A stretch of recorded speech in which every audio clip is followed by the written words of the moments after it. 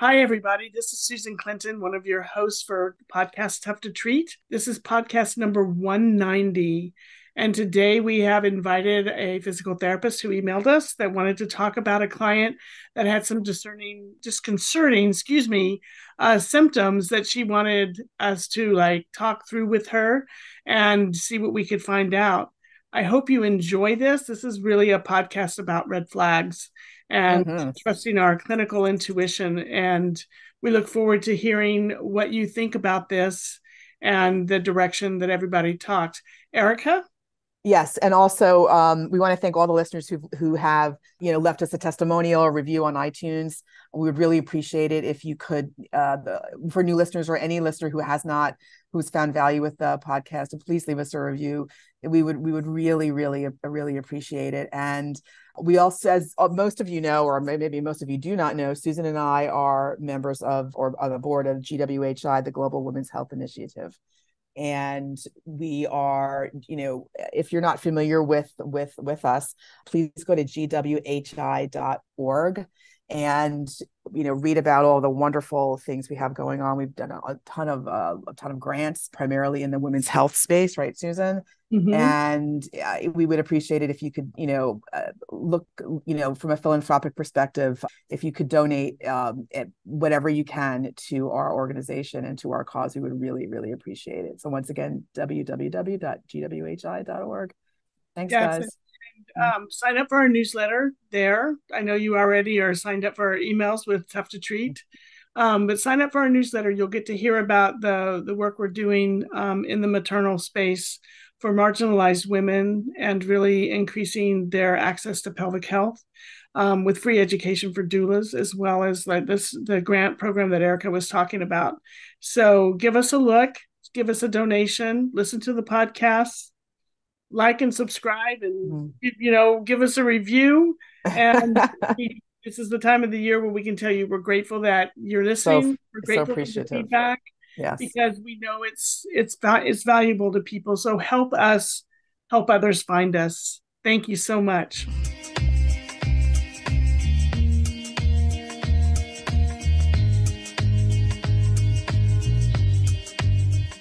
Hi, everybody. Welcome to podcast number 190. I'm Susan Clinton, one of your co hosts to Tough to Treat, and I'm here with Erica Mello, my very famous um, sidekick and co host of this podcast. And we are welcoming to the to the microphone today uh, Kelly McClain, who is a physical therapist in Georgia.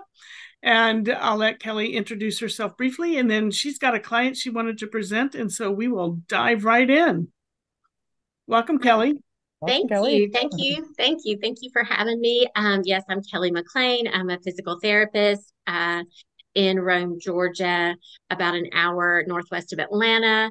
Um, I've been a PT for um, 100 years. Well, not really, just like 29, but um, began specializing in um, pelvic health about three years ago. Awesome. Okay. Well, welcome. thank you. Thank you. Um, so w- would you like for me just to kind of go over the eval with my patient? Is yeah. that kind of where we yeah, just start? just give us the background, the narrative, and you know we'll take it from okay. there. And just okay, keep it, keep it generic is all. So yeah, okay, yes. so um, this patient sort of found me through word of mouth. She had her her main complaint was this is this 10 month history of pelvic, perineal, and rectal pain. She knows exactly the date, like January of 2023. Um, she woke up in the middle of the night with some nausea um, and some vomiting and diarrhea. Okay. And she described that as like bleeding, you know, sort of bloody diarrhea. So she, um, and that has just kind of been that was the beginning to her. Um, she sees a chiropractor regularly and had prior to that. Um, and he's kind of led her to me. So um, th- that was the main complaint for several months. She just had this hmm. um, left labial, uh, perineal, rectal pain, also somewhat um, posterior thigh pain, but her main thing was the the rectal pain and the perineal pain with sitting primarily. She is a dental hygienist and works part time, so she sits throughout the day. And when she drives, she has a bit of a commute to work, and so um, sitting in the car is terribly uncomfortable. Sitting in her chair at work is terribly uncomfortable.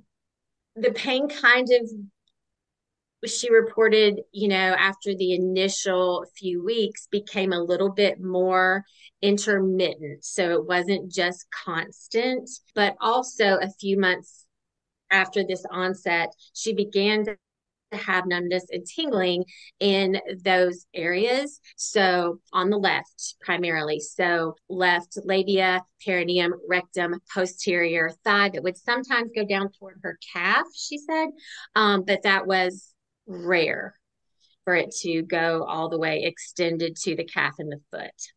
Let's see. She also would have this pain like going from sitting to standing at times and also with just walking. Um, she continues and has continued to have blood in her stool off and on during, you know, these last 10 months. She had a colonoscopy, which um, was negative, except for it showed a redundant colon. She had an abdominopelvic CT scan that was negative per her report. She went to a the GI doctor did note to actually two very small hemorrhoids, and he said possible anal fissure.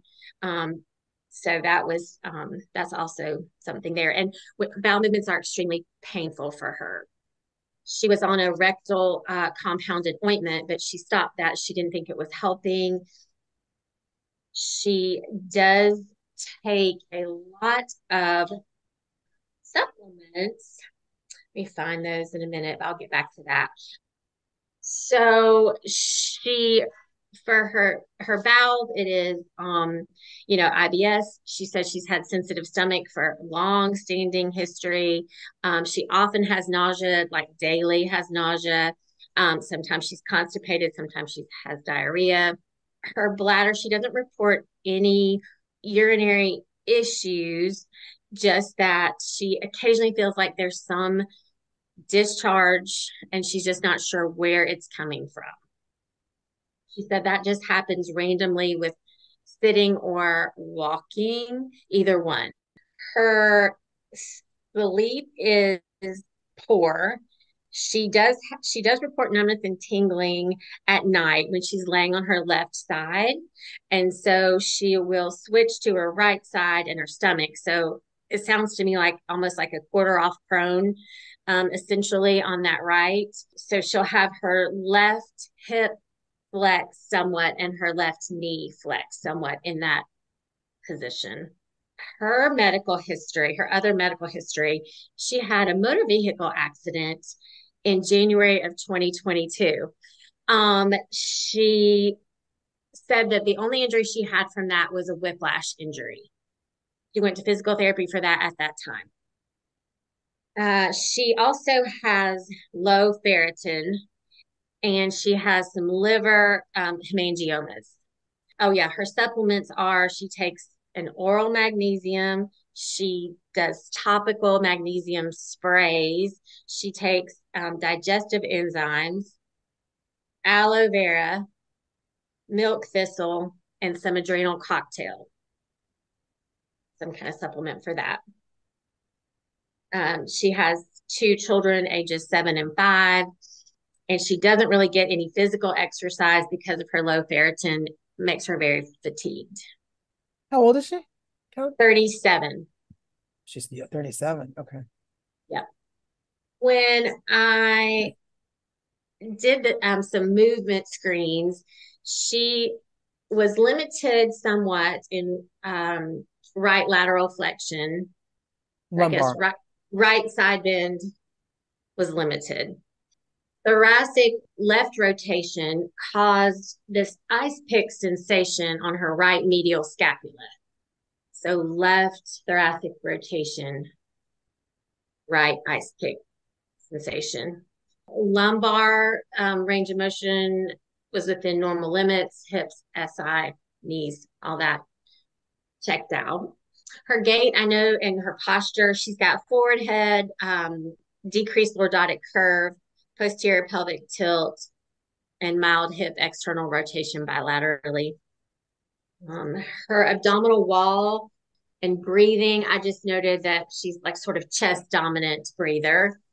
Let's see. I did the prone, I did prone press ups with her on that initial eval, just kind of assessing kind of where she was with extension. She didn't show any symptoms that day, but in subsequent treatment sessions, I've done some prone on elbows with her and even just kind of prone with slight extension. And that really made her numbness and tingling more pro- pronounced. Her main issue is the rectal and pelvic perineal pain, right? Not so much numbness and tingling, right? The pain but what drives her crazy it's like she says it just it just is maddening to her is this numbness and tingling ah. that is just there and will not go away. Okay got it. Okay. Um i mean it does it does wax and wane it really it does yeah. it is intermittent now. Yeah okay. But it just makes her crazy when it's present. Got it. Okay continue. Okay. Um, numbness, numbness and tingling is in the in the same areas where the pain is or is it different it's in the same area as the pain, but also extends down the left posterior thigh. Okay. Um, and then I did note on the eval she had a positive slump test. Positive for pain or pins and needles? Pins and needles. Okay. And then there's just some other um, like pelvic floor stuff that I noted, you know, that I'm not sure that it's, you know, it, she was very, I could not do really an internal assessment on that day. She was just jumping off the table at kind of the external assessment there. Yeah, she had a lot of tone in the pelvic floor, um, overactivity, high tone. Okay, what else can I tell you from that evaluation, or what questions do you have? Do you want to go, Susan, or should I start? I have a bunch of questions. Yeah, I can start. why is she why is she taking aloe vera? I don't know. She is just she's a Googler. And so I I think she has just like gone down a lot of rabbit holes and she's just kind of grasping at anything she might have kind of been able to glean. She is she's convinced that she has a fistula and that is, has not been she's not being diagnosed with that from GI or you know anyone that she's seen. So, but she just feels somewhere because I asked her, I was like, "What what is your biggest fear? What what are you afraid of here?" And she is afraid that she has something really badly wrong. Okay, so she's yeah. worried about signs and symptoms of serious disease so chiropractor for many years. What were they treating? Her back, her neck? All of it. Like she goes probably once a month and she would get adjustments and all that. She hasn't had any adjustments since she's been working with me. I've seen her for five visits over about a two month, mm, no, over about a six week period. Okay. And she has a long history of IBS?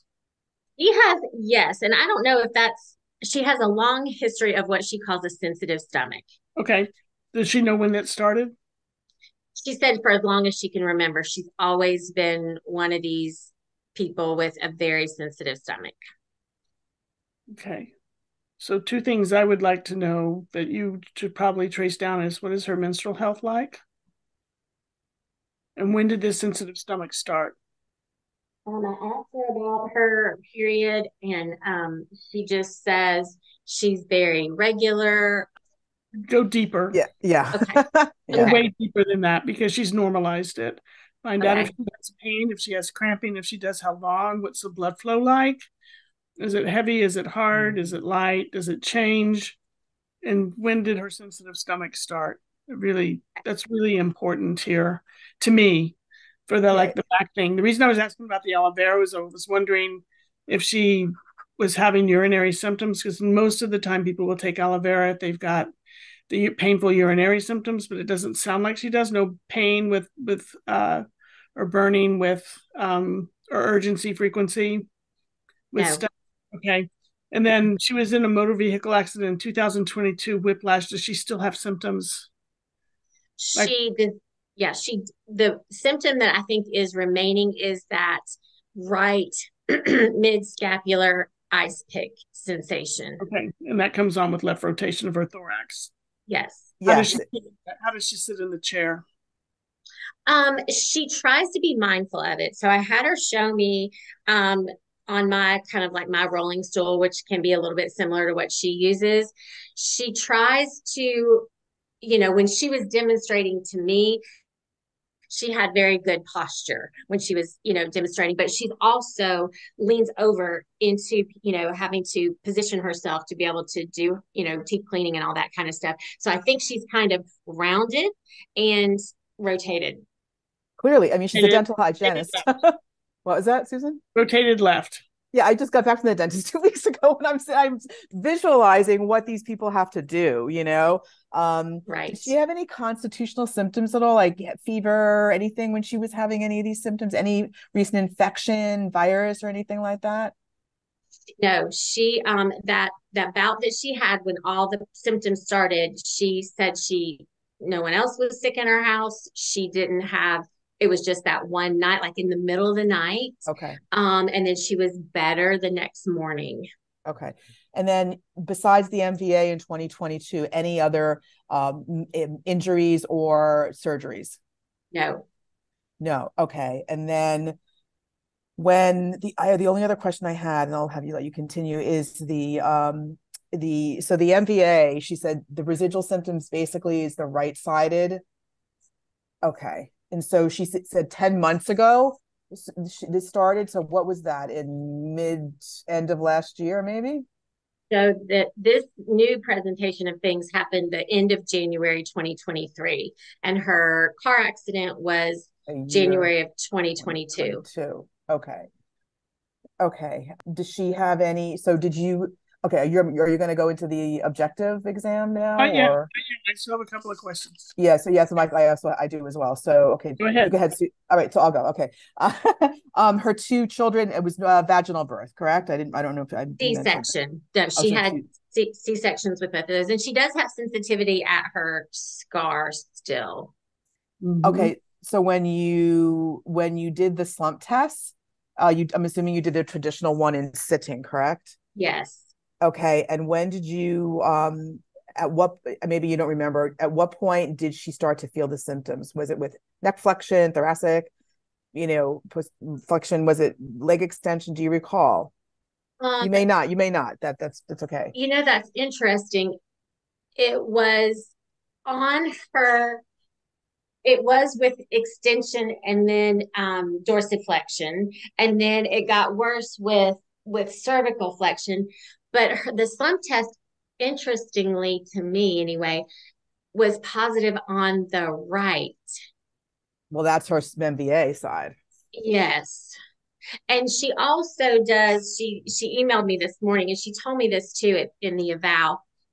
She also reports she gets pins and needles in her left arm, in addition to that perineal rectal left posterior thigh. It, all these symptoms sort of came on within the past couple years, year and a half, besides the stomach stuff that she's had for a long time, correct? Yeah, they all this came on um just yeah, since this past January 2023. Yeah, yeah. Mm-hmm. okay. Um, okay, I'm good, Susan. You can if you have any okay. other questions. Yeah. She has been seen by a GI doc. Yes. Okay, and they did all they did was a colonoscopy. Yes. Okay. And then um, she's had a CT. Has she been seen by, has she had her anal canal evaluated? First thing, especially since her fear is something bad is going on. Hmm. Uh, colonoscopy isn't going to pick up anything in the anal canal unless they're looking for it. and only then the the, the gold standard is an endoanal uh, ultrasound. Okay. So if she's got hemorrhoids, fissures, and here's the thing about fissures, recurrent fissures like this that have been going on for a long time, may have a they may be forming because of a drainage problem. And like there's cysts along the uh, anal canal that you can have a problem with that and you would never know it unless somebody looked for it. So she needs to see somebody who is a great colorectal person and have an endoanal ultrasound done if for no other reason but to settle her mind down. Right, right. Right? Yeah. To Yeah. settle her mind down for that piece. Um, so there's a lot to unpack here orthopedically. But one thing that is standing out to me is she's she started off with pain in these areas and she's now having progressive power outages, numbness and tingling. And I know they've done an ultra. Has anybody done any imaging on her lumbar spine? No, Or- but I told her no, but I told her that's what I would like to see next if she's able to, you know, she's going to the GI doctor tomorrow. you know, I just told her, you know, see if he'll refer you for, you know, a, a lumbar, you know, MRI. I'd Yeah. be imaging the neck if I were him, Yeah, personally. she needs she needs all three places of the spine. Yeah. Okay. I mean, she really does, and she needs an endoanal ultrasound. Okay. And I'm not a physician, and I'm not saying that the GI doc isn't doing their job. I'm saying that if she wants to clear her brain, the only way to find out what's happening in the anal canal is, and I, I know this from many, many colorectal doctors, that they say, you know, if they have recurrent fissures, if they have recurrent things that are going on, we really need to do an endoanal ultrasound just to be sure of, of what needs to be treated and why. So, and it may be that there's something happening that, you know, is causing this to keep going. And there, you know, it's that's gonna it's gonna take some good imaging there for that piece as well. So I feel like that there, you know, that the thoracic, whatever that ice pick thing is, I think that is coming from the lump, the cervical spine. One hundred percent. Yeah. And I think the way she probably sets herself, you know, because that that makes sense to me, especially if she was driving. She was, uh, was she rear-ended or was she T-boned? Do you know? Um, rear-ended. okay, eyes up into the mirror. She, uh, she just Uh, said someone hit her.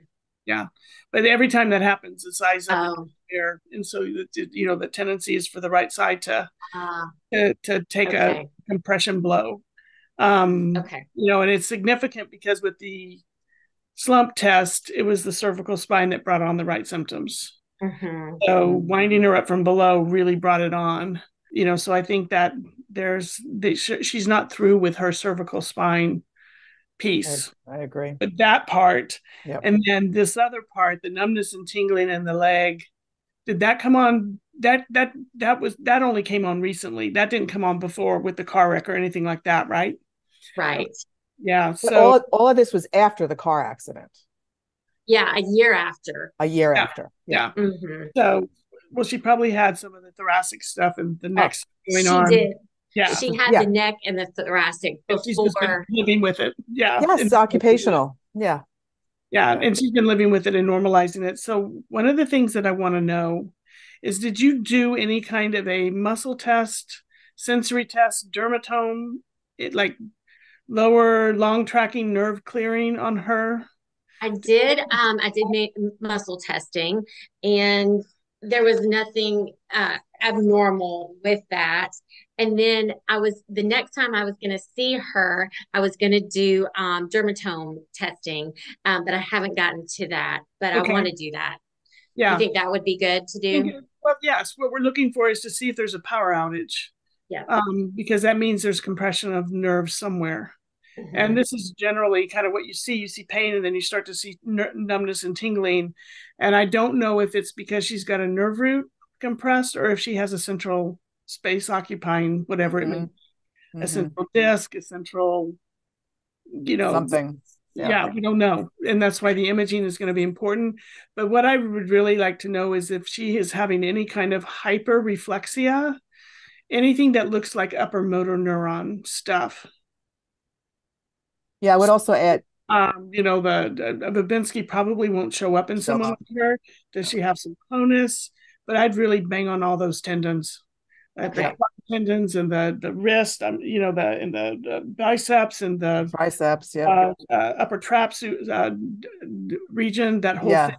I'd even bang on our jaw and see what's going on you could also do an upper bilateral, you know, neural like upper extremity neural tests. I would mm-hmm. do that too while you're there. Like you can pick one, median, radial, yeah, ulnar, okay. you know, just wind up the system.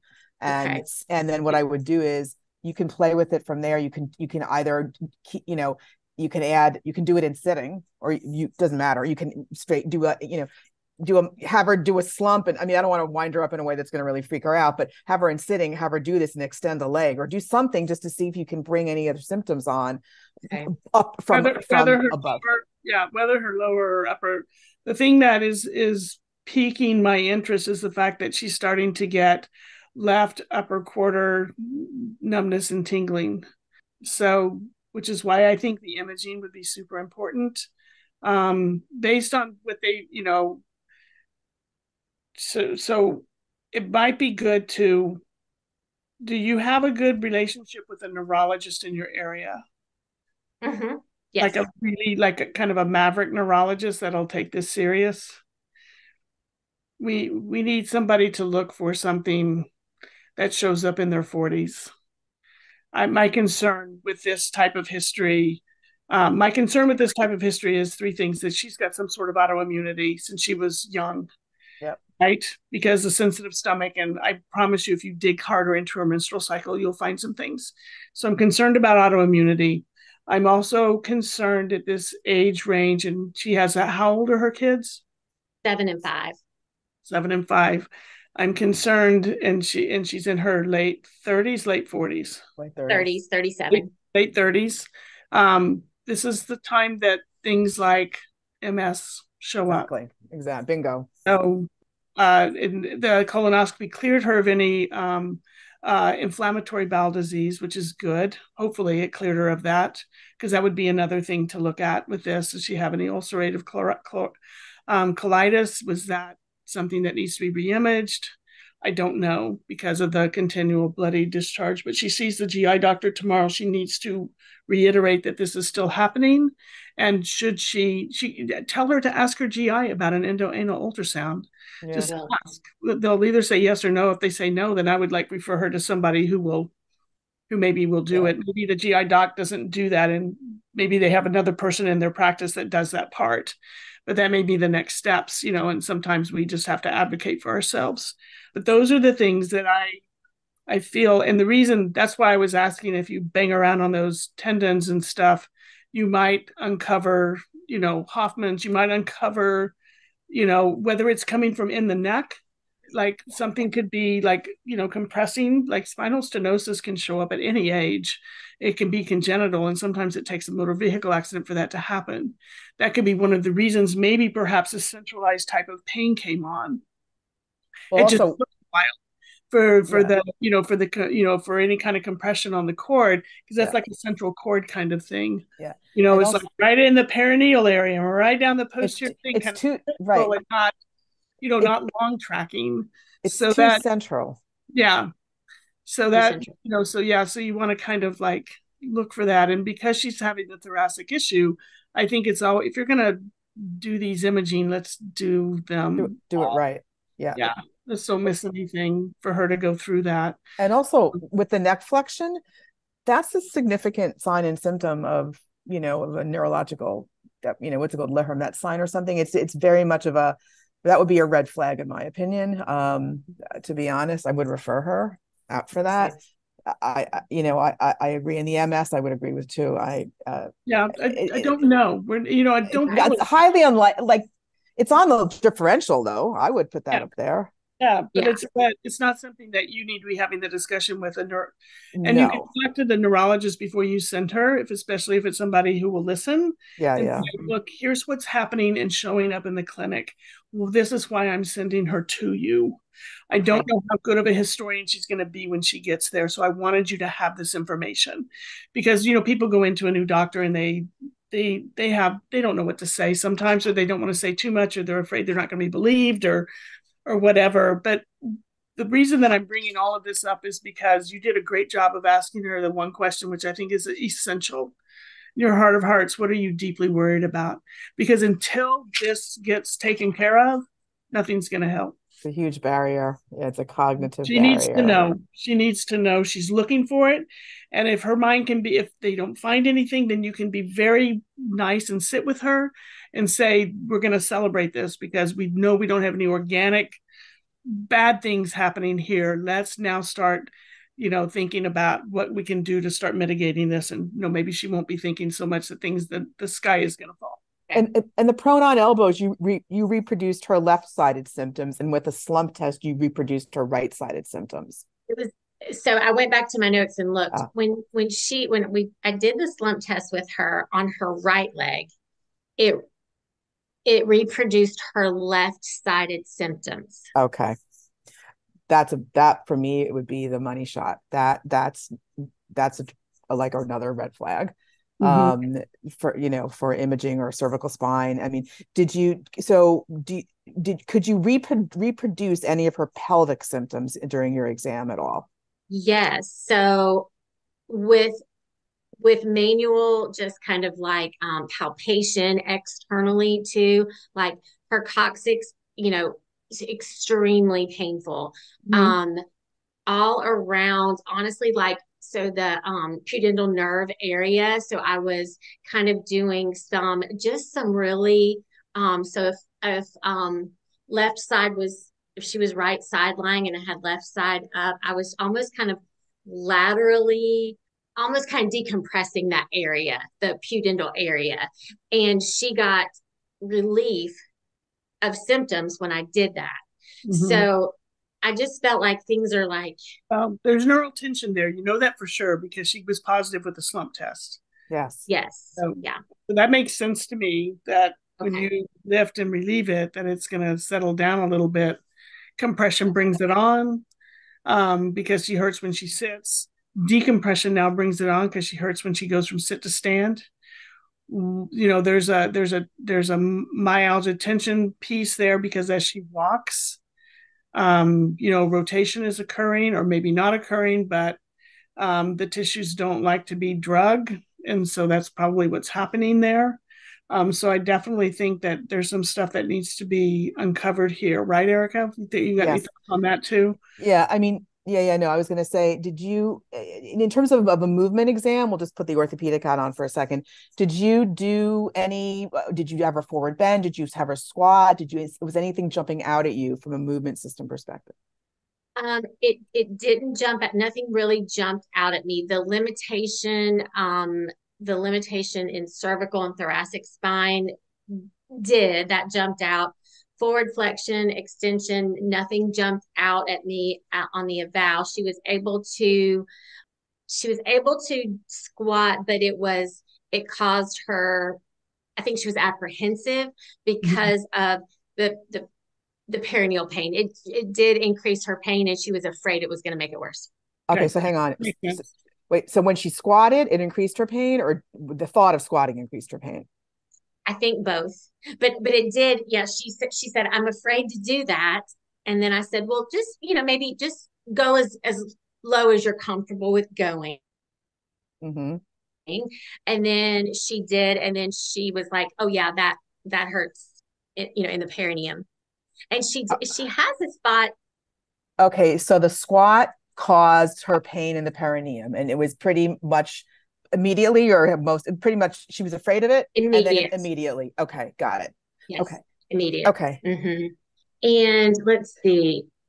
Yeah and then so you know the next time i saw her you know i did it you know i kind of wanted to reassess some things. So i did some repeated um, extension test and and that really increased her symptoms as well the the numbness and tingling symptoms the last time I saw her, you know, she was on the table and I was doing some manual work around the pudendal nerve, trying to just get her some relief there. And she was better. And then she went to sit up and then she said, Oh my goodness, I feel that numbness and tingling all throughout my perineum. Okay. Yeah. So that's that that's that saddle paresthesia. That's gotta be evaluated. Totally. Yeah. So I was I, I mean I you know internally I was I kind of freaked out with that and I was um I was like that is saddle paresthesia and you know what are we going to do right now and you know that you know that you didn't cause that right no right I was but, I was just so taken aback and I was afraid that, you know, because you don't ever want to like, you know, anyway. So that's something um, that you want to be sure you tell the neurologist that it may be intermittent, but she is having full blown saddle paresthesia. Yeah, she's just not associating these symptoms with her with her rectal pain, or she's just yeah. she's not associating it, it them um, at all. Uh, I, I mean, I would put I would put money on it that there's a cervical spine issue for sure. Um, uh, and there, yeah, and there, yeah, cervical spine is kind of coming up on the radar for me too, but you can't ignore. Uh, yes, of course. And or yeah, this the saddle paresthesia and the you know um, lower lower extremity, not lower lower lumbar, you know, kind of issue there. Right. What about um? Yeah. No, yeah. So kelly what about when when you when she when you squatted and when she squatted and you had this and you, she she had the symptoms did you do anything to modify it? Like change her base of support uh, or or anything anything? I didn't. And i should now that you mentioned that i should have done done narrow normal wide like you guys do and i just didn't think about it at the time. Well that's okay. So yeah i just at the time i didn't think about that. Yeah you have too many things going on. I yes, think exactly. you're so much. I think you're 100% on the right track that this person it's time for referrals. Yes. Um, and and she she definitely she needs to I mean she's very concerned about that. That's what she's scared of. So it's time to get some answers for her one way or the other. So if you've got a team of people that you trust that you can talk to, that's where I would start, you know, and but those those things I think are super important, you know, to get cleared up, especially if this pudendal, not pudendal, if this saddle paresthesia, like even if it's intermittent, that's still something's not right there. Yeah, so. there's there's something in the. I don't think there's any need at, at this point to continue to like evaluate, do slumps or anything like that. I think the you know it's pretty clear cut. Um, you know, if if when you reproduce her symptoms, she gets freaked out.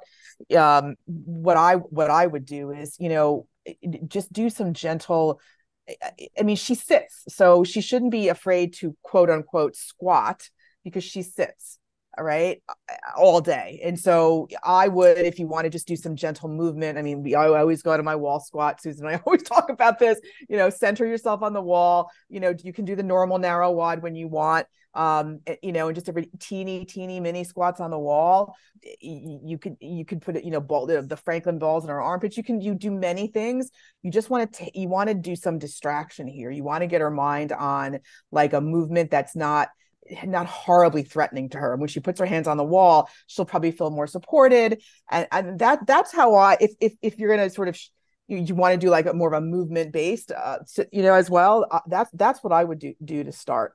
Um, it's de- you want to de-threaten the environment for her. Yes. Um, and so when, when you talk about those wall squats, you're because I'm always wondering that in the pocket, like, are your hands on the wall?